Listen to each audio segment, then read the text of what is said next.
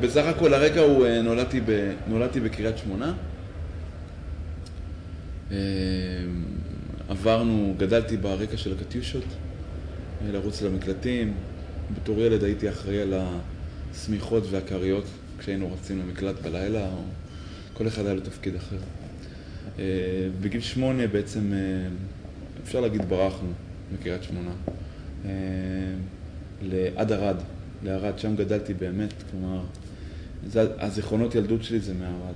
אני אה, זוכר את הטבע, את המדבר, את החמורים, אה, את השיטוט הזה, הסתמי בכלום, במרחבים אינסופיים, את התרבות האחרת שפגשתי שם. אה, ו- ו- וזהו, גדלתי בערד, התגייסתי, הייתי לוחם קרבי, הייתי בצנחנים. וכולם סיימתי ויצאתי לטייל. ואז שטיילתי, היה לי ספר סקיצות כזה, לא למדתי ציור בשום מקום. אה, והייתי באיזה אי בתאילנד, עשיתי רישום, ו... והבנתי שזהו, זה מה שאני צריך לעשות. ואז ממש אה, גם נגמר לי הכסף, חודש אחרי זה חזרתי לארץ, והתחלתי לצייר ולצייר ולצייר, והעבודות הראשונות שיצאו, זה בעצם העבודות שגם התקבלתי לבצלאל, וכל מה שניגשתי, התקבלתי. ושם התחלתי. ולא הפסקתי בעצם עד היום, לצייר כל הזמן. כלומר, זה מין התפרצות שלא לא הפסיקה, למרות שכאילו היו, היו לו שלבים. כשהגעתי לבצלאל, פתאום בתור מי שבא בלי שום רקע ובלי שום חשיפה לאומנות, גם מבחינת לראות ולצרוך ול, תרבות ואומנות מהסוג הזה, אז זה היה, הייתה הפתעה גדולה ועולם ומלואו. ולא לא נלחמתי, כלומר, די ויתרתי. נתתי לכל מי שרצה להשפיע עליי ולקחת אותי לאן שהוא רוצה, והייתי ממש בלנקו, משהו שהוא, אה, שהוא פתוח. אה, כנראה שהיה איזה ביטחון שברגע מסוים אה, הדברים התרכזו, ובאמת נוצרו דברים, והתחלתי לצייר כמו זה וכמו זה וכמו זה, ואז היה רגע מסוים שבאמת אמרתי, רגע, אני יודע כל כך הרבה דברים, אז זה הזמן לחבר את הכל ולעשות דבר אחד חדש. בשבילי. ו... וזהו, זה, זה בעצם מה שקרה. תמהיל חדש של כל מה ש... אה, מה שהושפעתי ממנו אה, ולמדתי אותו. פתאום הבנתי שכל הדיבור הזה על, על הציור שהוא מת, זה סיבה נפלאה לחגוג. נפלאה. אפשר לחגוג. זה עם כמה וכמה. כן. מאוד נושא מאוד... אה, זה, זה נושא, כן, ממש. כאילו, זה, זה, זה מדהים שזה תמיד מנצח, כאילו. תמיד הציור מנצח, הוא כבר עבר את ה... הוא תמיד מנצח, זה כמו גיבורי על כאלו, הוא תמיד, אה, הוא תמיד חוזר אחרי שהוא נפל, והוא, אחרי שיהרגו אותו ויקברו אותו והוא יוצא מהקבר, ומושיט יד עם מכחול, ומנצח מחדש. כנראה שזה, יש דברים שהם קצת יותר מעבר לתובנות שלנו. וזה ציור. ב, בוא נגיד בחמש, שש שנים, שבע שנים האחרונות, הציור, הציור הוא חוגג, אני כל כך אוהב את זה, זה כאילו... אני חי בתקופה הזאת, ואולי בגלל זה אני אוהב את זה, אבל אני אוהב את זה, אני אוהב שלקחו את הכל, באמת. זה לא רק אני עושה את זה, לקחו את הכל, ולקחו מפה, ולקחו משם, והפכו את היוצרות, ו- ופירקו, והרכיבו מחדש. ו- וזה בסך הכל, מה זה, צבע ומברשת, ואחד ליד אחד. אבל זה מדהים איך זה כאילו כל הזמן הגיע למקומות חדשים. אני חושב שהציור שה... הוא בדרך כלל באמת זה מין רעיון כזה שיורד ברגע מסוים לראש, אה, ואז מתחיל לקונן בתוך השכל, כלומר הוא מתחיל בתוכך, והוא מתחיל אה, להתקיים, ואז הוא מתחיל לנג'ס לך שהוא רוצה לצאת החוצה. ואז זה עובר לרישום, סקיצה קטנה על נייר, ושם אתה מגלה את הפוטנציאל הראשוני של זה. ואחרי הסקיצה הראשונה של נייר, שזה מין דבר כזה מאוד משוחרר, שהוא לא מגיע לכל הציור, אני עובר לסקיצה צבעונית על דיקט, פורמט של 20 על 20, בד מודבק לדיקט, ואני עושה מין משהו צבעוני רק כדי להבין את הצבע. ולראות שוב את הפוטנציאל. וכל אלה זה שלבים שמחזקים או מפילים את הרעיון של הציור. ואז, אם זה עובד, אז יש לי את המסמך הזה, ואני הולך לציור שהוא full size, שהוא, כמו שראית במוזיאון, ציורים שהם נושקים לשתיים על שתיים, ושם יש לי את כל האינפורמציה הזאת, שזה משהו כמו 40-50 אחוז מה, מה, מהאינפורמציה שיש לי לעשות את הציור, ואני נכנס לתוך חוויה. שהיא, שכל כולה היא כל הזמן לשבור את הגבולות. כל, אני אומר לשבור את הגבולות כי בהקשר של מה שנדבר אחרי זה על ציורי מדבר, זה בדיוק ההפך, אבל אנחנו נדבר על זה בהקשר הזה. כלומר, הציורי סטודיו הם כל הזמן לשחרר.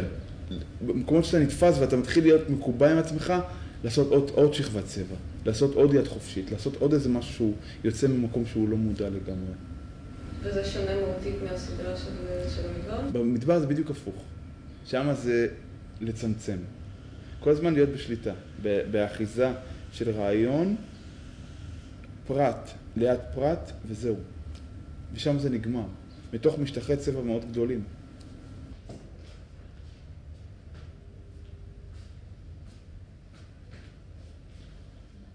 הציורי סטודיו, הם, הם יצאו מתוך קושי מסוים להיות עם עצמי, כלומר, לקבל את העולם הזה שאתה בא בבוקר, ואתה נכנס לסטודיו, ואתה סוגר את הדלת, ואתה נמצא לבד.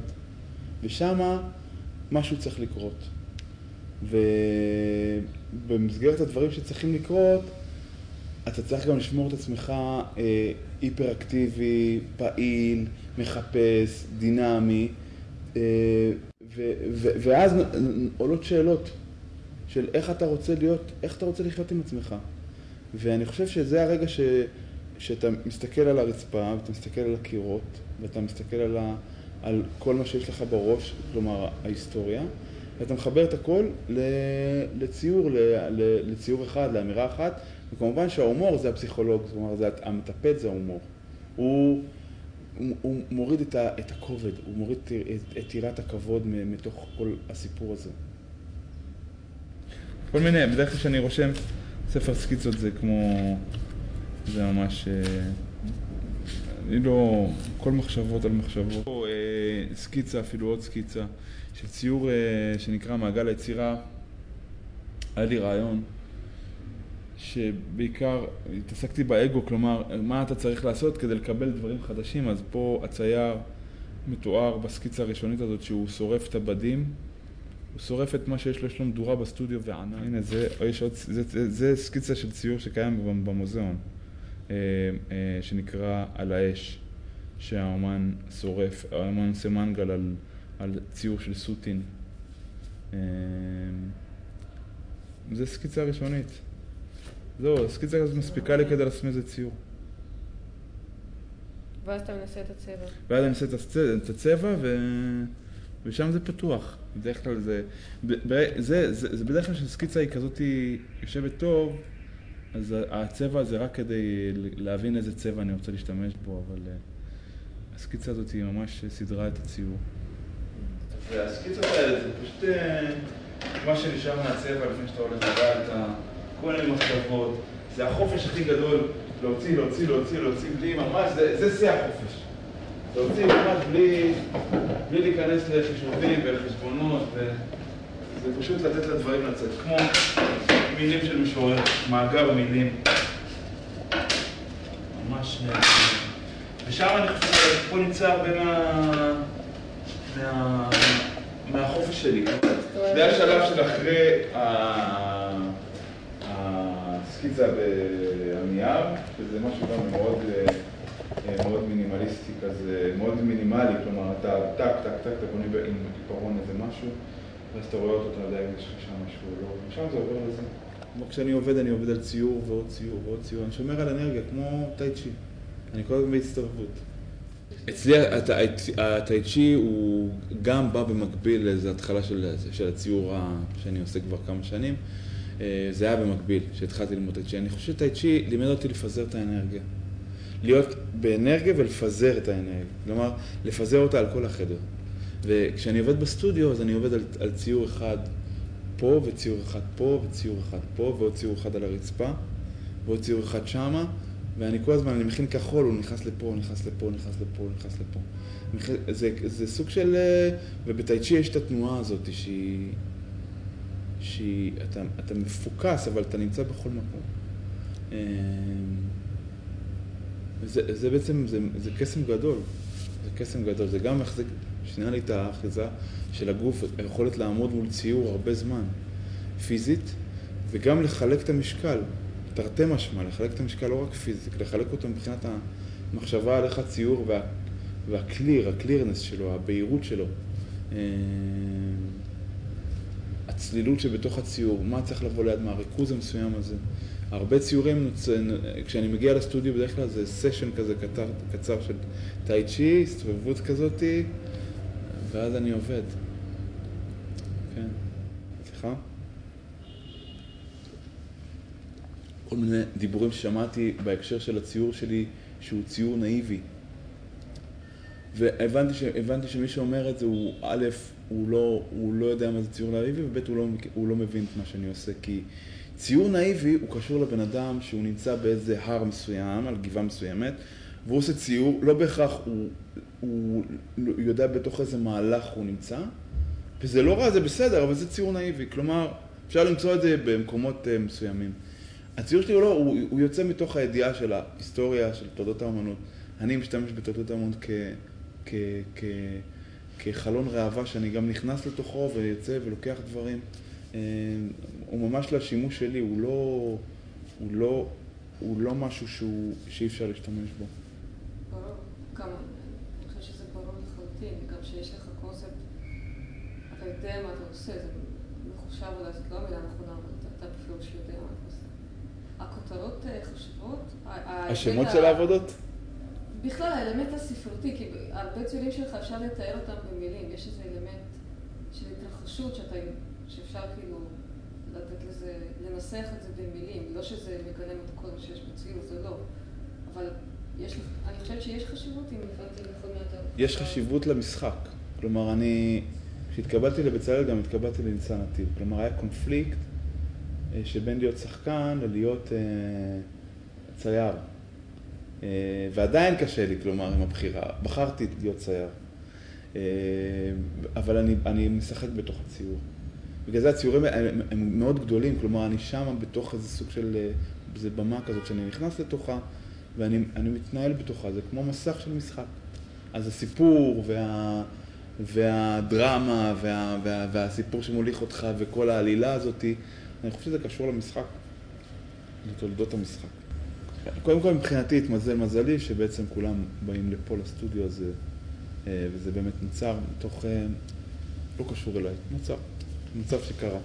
אה, אבל אני חושב שהעיר הזאת היא, המקום האופטימלי ליצור בו, לאומן, כדי לספוג ולצרוך אינפורמציה שהיא חשובה ליצירה. כלומר, קורים פה דברים שאתה מספיק שאתה נוסע באוטובוס משם לפה, אתה כבר מרגיש את זה, יש פה, מצד אחד יש פה את ההיסטוריה שאנחנו, אם נקביל אותה לציור, אז יש היסטוריה. ויש את, פתאום את הדברים החדשים, את האבנים החדשות ששמים על החומה הישנה, שזה הכל פה, כל אבן פה זה רוח רפאים בפני עצמה. אז כל, כל השילוב, הניגוד הזה בין, בין העתיק לחדש, הוא, הוא, הוא מרגש, יש בו מטען מאוד גדול. כלומר, הוא לא הרכבת הרים הזאת התל אביבית. הוא, הוא פה, יש פה, זה, זה טבור העולם. כל כך הרבה אנשים מתפללים לירושלים, לא בהכרח למקום הזה, אבל מזכירים את השם הזה. יש פה, יש, יש איזה סוג של, אני מרגיש שיש איזה סוג של, סוג של אנרגיה מאוד מאוד מאוד חזקה, שלא תמיד יודעים לקרוא אותה. אה, ולגבי אמנים ירושלמי, ירושלמי וטענות, אני חושב שזה טעות לצפות מהעיר הזאתי להחזיר את הפידבק הזה ולהגיד אני אומן ירושלמי, בעצם העובדה שאתה אומר אני אומן ירושלמי, אתה הכנסת את עצמך לכלוב, שיהיה לך קשה מאוד לצאת ממנו. אתה לא אומן ירושלמי, אתה אומן. אתה יכול להיות אומן בירושלים, בברלין, בניקרגואה ובאפריקה. אתה אומן. אתה יוצר בתוך מערכת מאוד גדולה. אתה גודל בתוך המערכת הגדולה הזאת. אתה בוחר למה לכוון. הכל פתוח. אם אתה קורא את המפה, הכל פתוח. Uh, הטעות הכי גדולה להגיד, אני אומן ירושלמי. אני יוצר בירושלים. זהו, אני מדבר על דברים שהם גם ישראלים, אבל גם אוניברסליים לגמרי.